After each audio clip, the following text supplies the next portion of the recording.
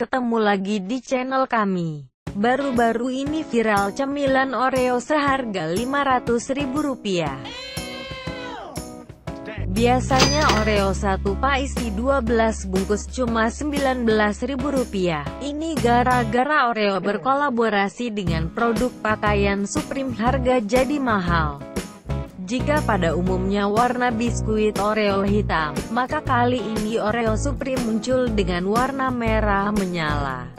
Warna ini ditujukan untuk mengabarkan rasa red velvet yang ada pada biskuit tersebut.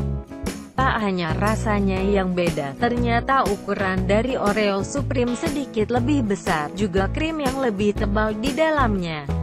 Uniknya, dalam satu biskuit terdapat dua logo brand Oreo dan Supreme.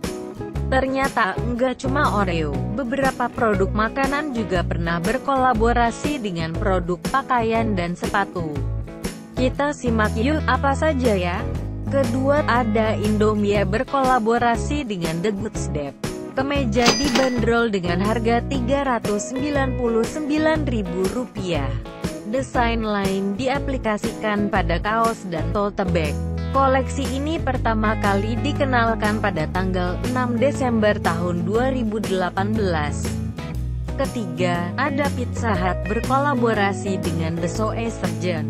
Pada peluncuran tanggal 19 Maret tahun 2018, harga retail sekitar 2 jutaan rupiah, kini laku sampai 14 jutaan rupiah. Sepatu dibuat dalam rangka merayakan turnamen bola basket putra divisi 1 UNCAA. Event pertama sepatu dibuat hanya 64 pasang, sedangkan kedua dibuat 50 pasang. Sneaker Tie Top 2 memiliki perbedaan dengan edisi sebelumnya, yakni adanya tombol untuk memesan pizza yang diletakkan di lidah sneaker sebelah kanan.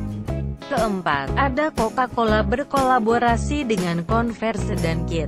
Sepatu dengan dasar Converse Chuck Taylor 1970S diluncurkan tanggal 11 Agustus tahun 2017 dengan harga retail 2 jutaan rupiah, kini dijual 5 jutaan rupiah. Terakhir ada Dunkin Donut berkolaborasi dengan Saucony.